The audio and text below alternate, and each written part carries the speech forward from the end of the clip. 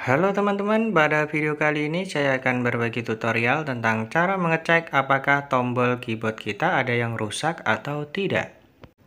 Pernahkah teman-teman mengalami kondisi saat melakukan pengetikan atau apa tiba-tiba keyboard kita tersentuh dengan sendirinya? Nah oke kita bisa mengeceknya dengan menggunakan aplikasi Keyboard Test Portable.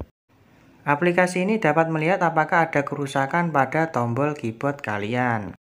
Apabila terdapat kerusakan pada keyboard kalian, secara otomatis tombol di keyboard kalian pada aplikasi ini akan berwarna merah. Untuk cara penggunaannya, silakan kalian download terlebih dahulu aplikasinya, lalu silakan download. Setelah proses download selesai, silakan kalian buka dengan cara double klik dua kali.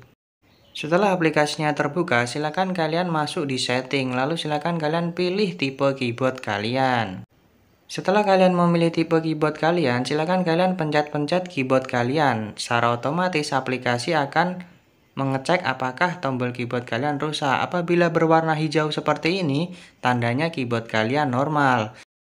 Apabila salah satu tombol keyboard kalian ada yang rusak, akan berwarna merah. Nah, di sini teman-teman bisa lihat terdapat tombol saya yang berwarna merah di dalam aplikasi. Ini tandanya tombol saya ada kerusakan. Oke, sekian tutorial dari saya. Semoga video ini bermanfaat. Terima kasih.